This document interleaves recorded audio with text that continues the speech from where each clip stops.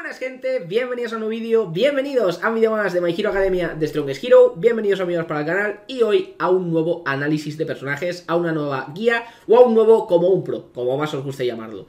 Hoy estamos aquí para hacer el como un pro barra guía de Bakugo World Heroes Mission, el último personaje de esta colaboración, porque a priori lo que aparecerá dentro de dos semanas será un banner triple con los tres personajes, al igual que pasó, ya sabéis, con Endeavor, All Might y Hawks justo antes de que empezase esta colaboración. Así que sin más, hoy vamos a intentar explicar cómo funciona este personaje. Como siempre, he de reconoceros que aún me queda mucho por testear, el personaje ha salido hoy y no he podido jugar mucho. He tenido mis cosas que hacer y obviamente no he podido jugar una auténtica barbaridad. Con lo cual, es posible que algunas de las cosas que os intente explicar hoy a lo mejor le puedo llegar a dar más matices, le puedo llegar a dar más detalles dentro de un par de días o dentro de una semana. Así que espero que lo tengáis en cuenta. Si por lo que sea hay algún tipo de cambio realmente brusco, haré un vídeo específicamente, únicamente para hablar sobre, sobre esa mecánica, ¿no? Porque realmente he estado testeando bastante al personaje y hemos estado leyendo aquí en directo, porque estoy grabando este showcase en directo. Hemos estado grabando, o sea, hemos estado hablando sobre lo que son las habilidades del personaje.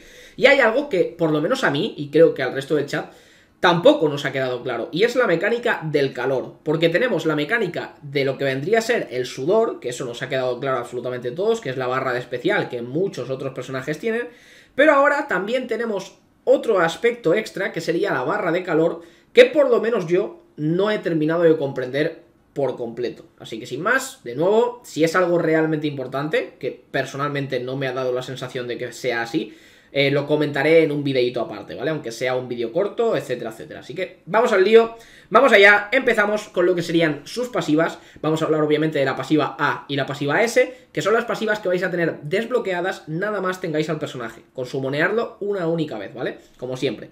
Cada vez que utilicemos la Q vamos a tener, eh, vamos a tener una probabilidad del 50% de ganar el doble de sudor temporal, que esto nos va a venir bastante bien para poder generar eh, el máximo sudor posible y poder entrar en nuestra stage de vuelo, que es la stage a la que vamos a querer llegar de forma habitual para hacer el máximo daño posible, lo antes posible. Así que esto nos va a ayudar bastante para eh, lo que vendría a ser llegar a esa, a esa habilidad, ¿no? Luego hablaríamos de que esta habilidad al máximo, la habilidad de S al máximo, va a aumentar nuestro almacenaje de sudor hasta en, hasta en 50 puntos, lo cual también está bastante bien, porque va a alargar ese, ese modo de vuelo, el cual os estaba mencionando, del cual veremos dentro de un ratito, no os preocupéis y el cual es el que en el que más daño podemos llegar a sacar, ¿no? Luego pasamos ya con, obviamente, eh, las pasivas de, los dupes, las pasivas S, triple S y S Plus, las cuales obviamente mejoran una auténtica barbaridad del personaje. En este caso, voy a poner esto por aquí, eh, vamos a poner esto por aquí para poder leerlo bien, porque si no tengo que leerlo en el móvil y me cuesta bastante. La pasiva de SS incrementa el daño de Blasting Bleach, que es una de las habilidades que más pegan de este personaje, que es la segunda activa de la habilidad especial de este personaje, incrementa el daño en un 60%. Y aparte, si el daño de esta habilidad golpea con un golpe crítico, hará un 50% de daño extra de ese daño, lo cual es súper, súper fuerte. Pasaríamos con el triple S, añadiendo una carga adicional a la W cuando estamos en el aire, la cual nos va a permitir reposicionarnos bastante mejor. No creo que sea realmente interesante, pero lo mejor es el hecho de que nos va a bustear el daño en un 15%, hasta que hable hasta un 30%. Entonces, estamos en el aire, tiramos esa habilidad, nos busteamos el ataque y seguimos pegando con las Qs, haciendo una auténtica barbaridad de daño. Y finalmente, triple S Plus, son las típicas habilidades que simplemente te bustean como un auténtico burro y ya está, te aumentan las estadísticas una auténtica barbaridad. Incrementa el crit damage en un 60%. Y por último, incrementa el daño realizado en un 40%. Realmente pasivas muy pero que muy buenas. Obviamente, insisto, las únicas que tendréis desbloqueadas bases serían la A y la S. Pasamos, eh, no voy a mencionar que obviamente el personaje es de atributo P, a pesar de que me, gusta, me gusta remarcarlo. O sea, es literalmente el primer personaje P que sale en el juego en 7 meses. Realmente es una auténtica barbaridad, no sé. Eh, el único personaje fue All Might y a partir de ahí, ni uno más. Y por fin tenemos a Bakugo, que sí, que es una versión extra de un personaje que ya tenemos dentro del juego, que ya era P, pero por fin tenemos uno, oye, se agradece. En fin, pasamos con la habilidad especial, Spicy Hit. Esta habilidad nos va, a nos va a permitir ganar sudor. El sudor nos va a ayudar a acabar en la stage que os había mencionado, en la stage de vuelo, donde más daño vamos a ser capaces de hacer. Mientras estemos en Air Strike, esto es algo de los que no hemos llegado a entender, el primer golpe de, del básico cuando estamos en el aire no consumiría sudor y la W tampoco consumiría sudor. Pero lo que pone aquí es que consumiría 20 puntos de calor.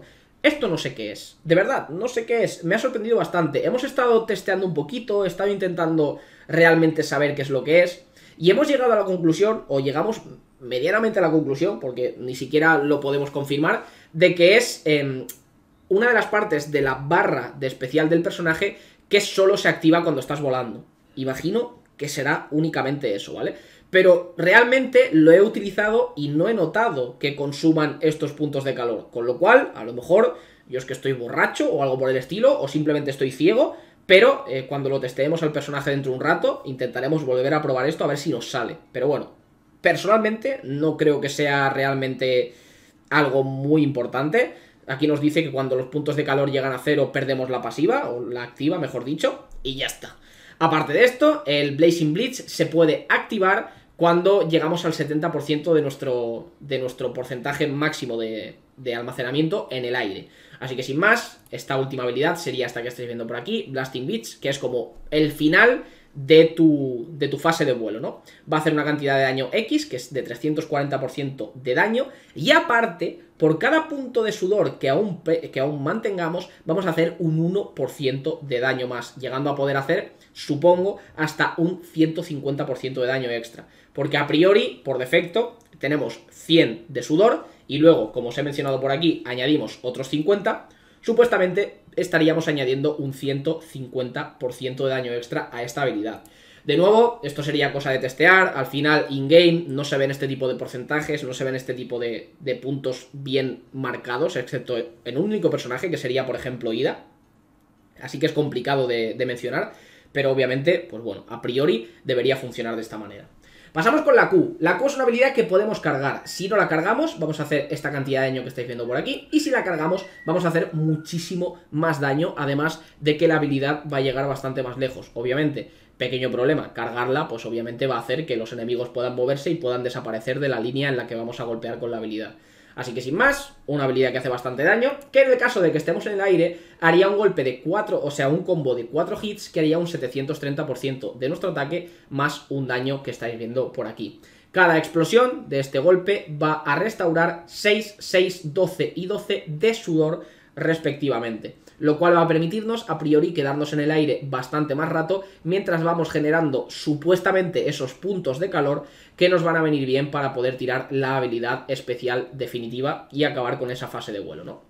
Pasamos con la W, que es la que nos va a permitir subir a, la, subir a lo que viene a ser el al aire, por norma general. También podemos subir con los básicos, pero por norma general subiremos con esta habilidad, que es una habilidad que eh, golpea con un dash, como estáis viendo por aquí, 185%, y luego una explosión de 225% de daño. Y cuando eh, tenemos el sudor al tope, esta habilidad se transforma y lo que nos va a permitir va a ser subir al aire haciendo un daño distinto, como estáis viendo por aquí, del 225%. En este caso, pues bueno, la explosión haría un poquito menos, como que se... Eh, ¿Cómo decirlo? Como que se intercambian los papeles, el dash hace más daño, la explosión hace menos daño, pues cuando no estamos utilizando esta, esta fase de vuelo, o estamos entrando en esta fase de vuelo, sería a viceversa, ¿no? Como está viendo por aquí, pues bueno, eh, sin más, utilizar esta habilidad consumiría sudor, no hay, no hay nada realmente interesante, luego lo podemos regenerar cuando estemos en la fase de vuelo, y mientras estamos volando vamos a poder utilizar esta habilidad para reposicionarnos. Como os he mencionado, cuando estamos en triple S, vamos a conseguir que al reposicionarnos nos busteemos. No es por norma general, algo que vayamos a conseguir de forma fácil, pero bueno, simplemente para poder colocarnos mejor y poder seguir haciendo más daño, es bastante interesante.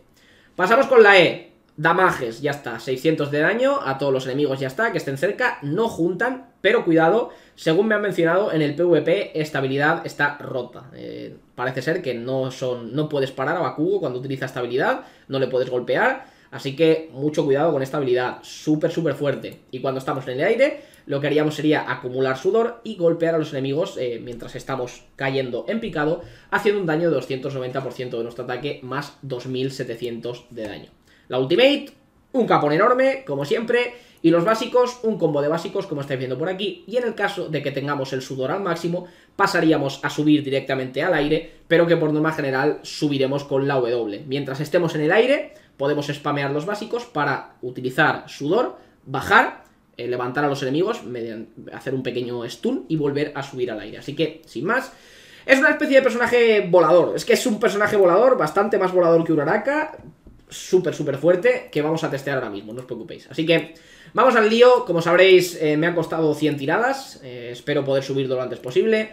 Como siempre, subidlo mínimo a nivel 90 para poder tener eh, todas sus habilidades a nivel 20, que son las, importantes.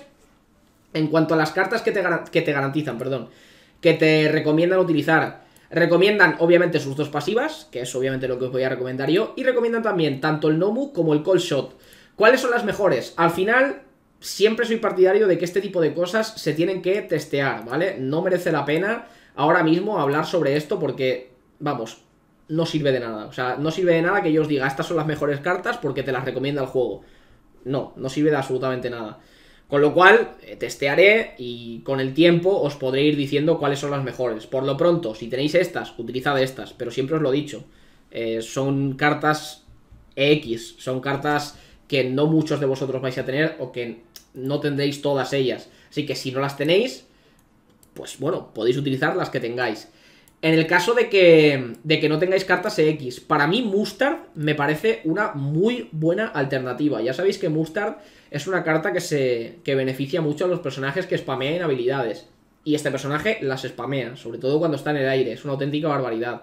Así que yo me plantearía llevar a Mustard, ya sabéis que es una carta 5 estrellas, tenéis la tier list de las cartas 5 estrellas en el canal, así que echadle un ojo. Y bueno, eh, obviamente estas cartas malas no son, así que seguramente vayan a funcionar bastante bien. ¿Podría funcionar y podríamos sacar más daño con otras? Puede ser, pero bueno, eso ya lo dejaremos para eh, conforme vaya evolucionando el jueguito y conforme vayamos testeando. El tema de los chips, más de lo mismo, hay que subirlos al tope, independientemente de si son buenos o malos, al final es necesario eh, subir al máximo tus chips para básicamente potenciar al máximo el personaje, ¿no? El set de, este, de estos chips lo que haría sería que ganásemos un 4% de crit rate extra eh, durante 5 segundos cuando utilizamos la Q en el aire, ¿no? Hasta un total de 4... 4 Arial, ¿verdad? Creo que es la Q en el aire, ¿verdad? Es que no me sé los nombres aún, obviamente. Es un personaje nuevo. Pero imagino que sí, sí, correcto. Cuando utilizamos la Q en el aire, vamos a aumentar nuestro, nuestro crit rate hasta en un total de... No sé si tiene límite. ¿Tiene límite? Lo pone por aquí. ¿Tenía límite? hasta 4 stacks, es decir, un 16%, lo cual está bastante bien. Obviamente, los chips los tenemos que subir sí o sí, intentar conseguirlos lo antes posible, pero bueno, tampoco, tampoco corre ¿no? Al final, cada uno, que, ¿qué tal? Si los podéis farmear rápido, bien, y si no, pues bueno, tendréis un personaje que a lo mejor no es todo lo potente que podría ser hasta que, hasta que los farméis, ya está, eso no hay, mucho más que mencionar. Mucha gente me pregunta que cómo subir el BP una de las cosas más importantes que tenéis que hacer para subir el BP es subir los chips, de verdad. Yo como veis, ahora mismo no tengo ninguno. Ya los tendré, no tengo prisa. Ahora mismo hay otras prioridades dentro del juego. Pasamos con los talentos. Me han gustado mucho más estos que estáis viendo por aquí, ¿vale? Lo primero, eh, cuando el temporal y suite está al 30 o al 70% de, la, de la capacidad máxima de, de, almacenaje, va a incrementar nuestro ataque en un 30 o en un 60% respectivamente durante 7 segundos. Esto está muy bien porque al final vamos a estar ciclando constantemente y, estar cambiando constantemente de lo que vendría a ser el, calor, lo que vendría a ser el, el sudor. Entonces vamos a estar todo el rato recibiendo un bufo de daño, ya sea de X o de Y, de 30 o de 60, constantemente que nos va a venir bastante bien.